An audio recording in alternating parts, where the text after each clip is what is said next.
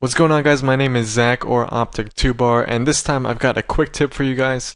As you probably know I uploaded a theater mode guide the other day and here's just something to expand on that a little bit and uh, it's just a tip on getting really amazing clips to edit with using theater mode.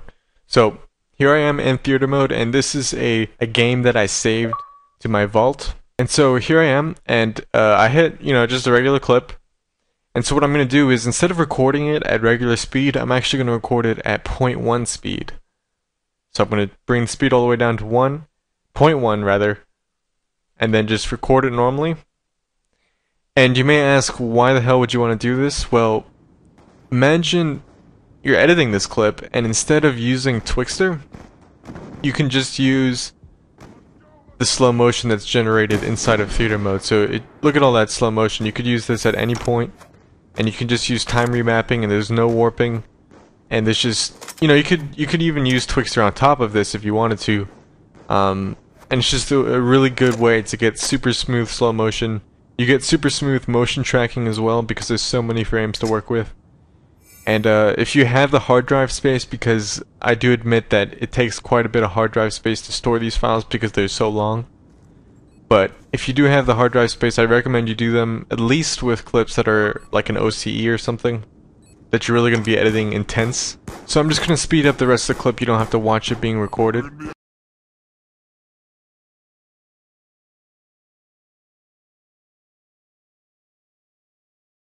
Alright, so that's the end of the clip, and before we jump into After Effects so that I actually show you how to edit these and actually use them, I want to mention that you can actually, let, let's see if I go back here, you can actually record this thing, like I mentioned in my theater mode tutorial, you can record this without any heads-up display. And look at that, look how clean that is.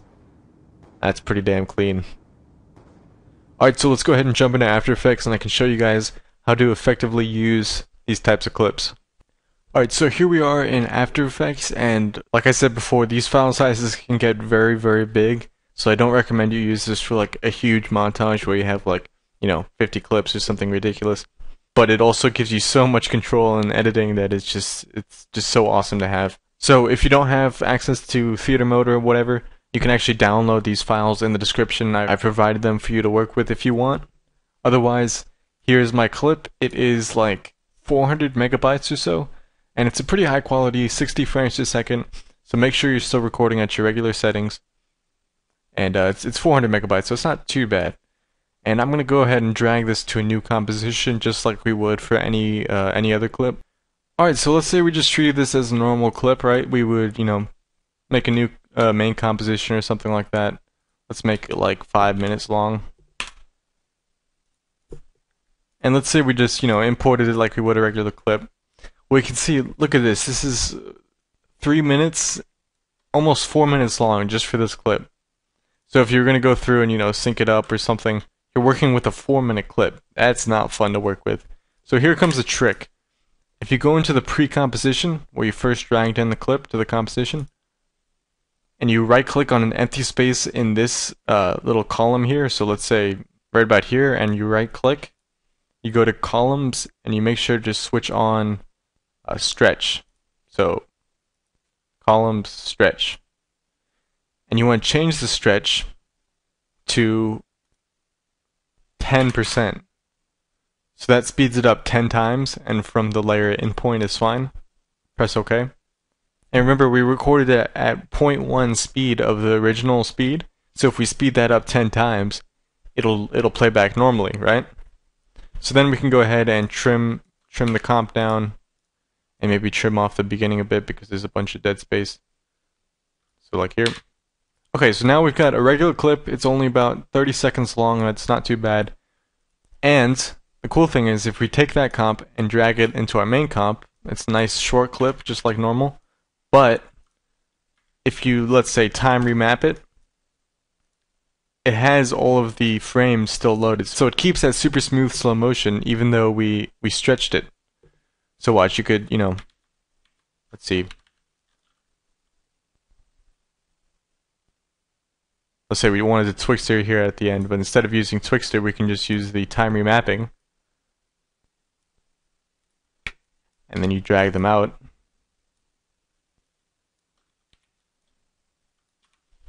And let's RAM preview this really quick.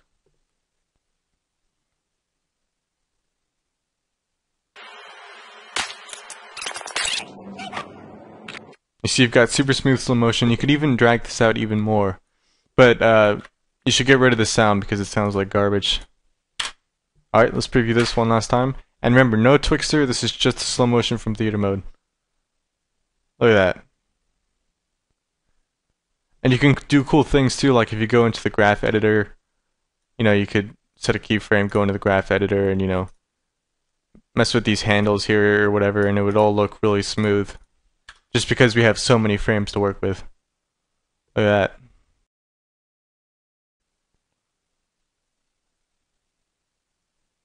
See, you can just do whatever you want. This just gives you so much more control. And like I said, the tracks are super smooth. It's just all around a better way to edit. It's 600 frames per second because it's 10 times 60 frames per second. So if it wasn't for the huge file sizes, I would recommend everyone use this all the time. But like I said, file sizes can get pretty huge, so you may want to be careful with that. So hopefully you guys will use this tip, maybe in addition to my theater mode tutorial that I uploaded a few days ago. If you haven't seen that, I'll leave the link in the description and on the screen. If you did enjoy, please leave a like, that helps me out a lot. I will catch you guys in the next video.